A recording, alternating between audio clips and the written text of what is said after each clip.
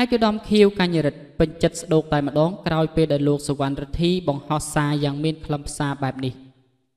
ស្វាគមន៍ប្រិមិត្តបងប្អូនទាំងអស់គ្នាមកកាន់ Channel ព័ត៌មានសិល្បៈបាទកាលពីប៉ុន្មានម៉ោងមុននេះលោកសវណ្ណរិទ្ធីបានបង្ហោះសារប៉ុន្មានឃ្លាថាខ្ញុំបានសន្យាជាមួយខ្លួនឯងរួចហើយថាមិនផ្សាយរឿងគ្រួសាររបស់គេដាច់ខាតព្រោះខ្ញុំក៏បានឆ្លងកាត់ជីវិតរឿងរ៉ាវគ្រួសារមួយនេះរួចរាល់ហើយដែរ ពេលខ្លះគ្រួសារគេឆ្លោះគ្នាថ្ងៃមុខគេអាចដោះស្រាយត្រូវគ្នាវិញបាន តែដោយសារការចង់ឈ្នះមួយពេលហៅអ្នកកសែតឲ្យមកផ្សាយមួយពេលទើបបែកគ្នាមួយជីវិត អ្នកឈ្នះគឺជាប្តី អ្នកឈ្នះគឺជាប្រពន្ធតែអ្នកចាញ់គឺជាកូនកូនត្រូវចាំកុំយកអារម្មណ៍ចង់ឈ្នះចាញ់មួយពេលដើម្បីឲ្យកូនមើលឃើញពីរឿងខ្លោចផ្សាទាំងនេះភ្លាមភ្លាមនោះស្រាប់តែអាយឧត្តមខៀវកញ្ញរិទ្ធបានសរសេរតបទៅកាន់លោកសវណ្ណរិទ្ធីថា ឆាប់យល់ការងារឆ្លងកាត់បទពិសោធន៍ផ្ទាល់ពេលខ្លះទាល់តែធ្លាក់ក្នុងទឹកទើបចេះហែលទឹក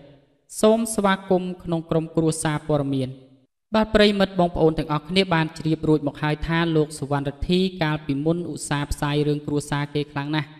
តែចាប់តាំងពីលោកប្រកបអាជីពជាអ្នកសារព័ត៌មានជាថ្មីហើយឆ្លងកាត់បទពិសោធន៍រឿងគ្រួសារខ្លួនឯងមក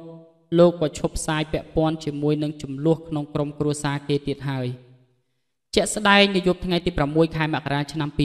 2023លោកបានបង្ហោះសារដោយសន្យានឹងខ្លួនឯងថាឈប់ពាក់ព័ន្ធជាមួយនឹងរឿងរ៉ាវគ្រួសាររបស់គេដោយលោកបានសរសេរនៅក្នុង Facebook របស់លោកបែបនេះថា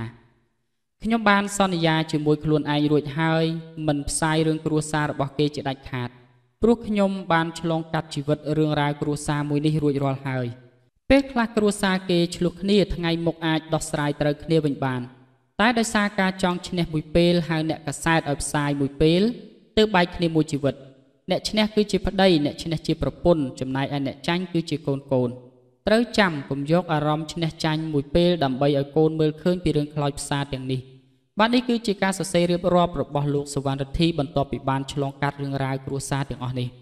បាទដោយឃើញបែបនេះគឺនយោបាយថ្ងៃដដែលតែម្ដងអាយដាមខៀវកញ្ញរិទ្ធដែលជារដ្ឋមន្ត្រីក្រសួងព័ត៌មានបាទក៏បាន screenshot បាទអផុសនេះ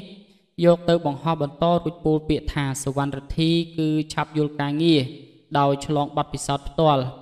ពេលខ្លះគឺទាល់តែធ្លាក់ក្នុងទឹកទើបចេះហែលទឹកសូមស្វាគមន៍លោកសវណ្ណរិទ្ធីមកក្នុងក្រុមគ្រួសារព័ត៌មានបាទតាមរយៈការបង្ហោះនេះមិនត្រឹមតែអាយដាមខៀវកញ្ញរិទ្ធប៉ុណ្ណោះទេដែលពេញចិត្តបាទសូម្បីតែអ្នកលេងបណ្ដាញទំនាក់ទំនងសង្គមក៏បាននាំគ្នាចូលទៅខមមិនគ្រប់គ្រងប្រងព្រាតផងដែរ បាទដោយក្នុងនោះពួកគេបានលើកឡើងថាខ្ញុំឲ្យមេដៃមួយក្មួយរិទ្ធីនិយាយត្រូវ100%អ្នករងគ្រោះគឺជាក្មេងៗនិងអ្នកខ្លះបានខមមិនទៀតថាត្រឹមត្រូវពេលដែលប្តីប្រពន្ធឆ្លោះគ្នាជនរងគ្រោះគឺកូន បងក៏ធ្លាប់ឆ្លងកាត់ជីវិតនេះដែរ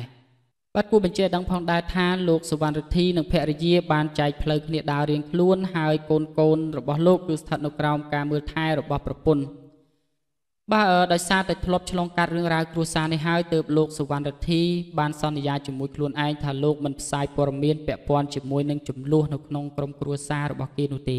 បាទសម្រាប់ព័ត៌មាននេះដែរខ្ញុំបាទសូមបញ្ចប់ត្រឹមតែប៉ុណ្ណេះសូមគោរពជូនពរក៏ដូចជាអរគុណប្រិមិត្តពុកម៉ែបងប្អូនទាំងអស់គ្នាសម្រាប់ការចូលរួមស្ដាប់